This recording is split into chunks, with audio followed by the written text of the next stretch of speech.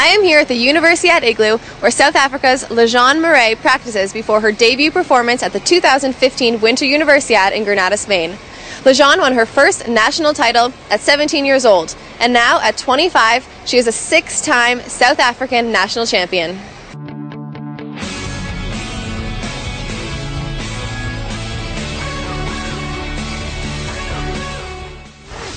Been a, a, passion and a dream for me to to be a, a, figure skater my entire life, and I don't know. I, I guess I'm just uh, lucky that I have that kind of passion and drive and uh, desire to to push myself and to do well. Well, I, I was a figure skater myself, so she really grew up on the ice. Um, she didn't really have much of a choice when she was little, and she just all she knew was a, was an ice skating rink. We have four figure skating rinks in our entire country, whereas overseas they have four in a town. You know? In in South Africa, we don't get a lot of uh, training time, especially on the ice, because most of the rinks are, are, public rinks. So we, we skate before the public and after the public if we're allowed. It's difficult to to be to be your best.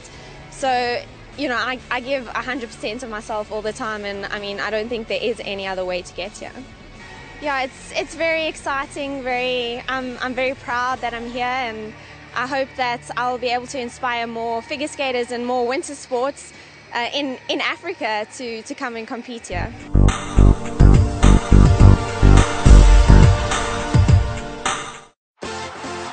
When education meets sport and culture. What best promotes excellence in mind and body?